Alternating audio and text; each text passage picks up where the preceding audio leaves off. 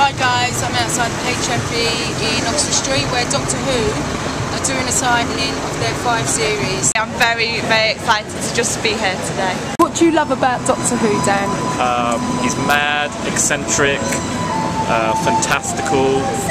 He's like our hero, like America has Superman and Batman, Spider-Man. We've got Doctor Who. It's always fresh, it's always brilliant, the stories are fantastic. I love the characters, the characters are really real. You can relate to them, but they're kind of of another world as well. all of the mythos that came from the original series and how it gets revamped all the time and it just becomes richer and richer with each episode and with each doctor.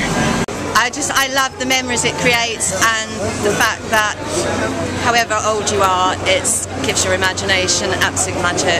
I absolutely I've watched it since 1963. Complete escapism, but with a, a splash of science fiction sort of splashed in as well. I think it's just everything. It makes you feel like a child again. To me, it's a bit like Christmas. You can always be a child when you're watching it. The escapism, the storylines, the history behind it. Your favourite Doctor Who today?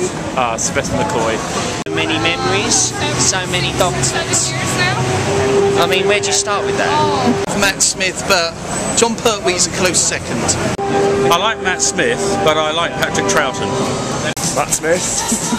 um, he's, I think he's absolutely wonderful.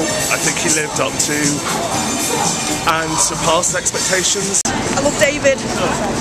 David will always be my doctor. Man. All of them. Favourite villain? That is a hard one. Davros, I suppose, I've got to say. It has to be the Robert Roger Delgado as the Master. It Has to be the master. The master and the Cyberman. Heaven forbid they ever team up or we'll be in trouble. Exterminate! That's the best I can do.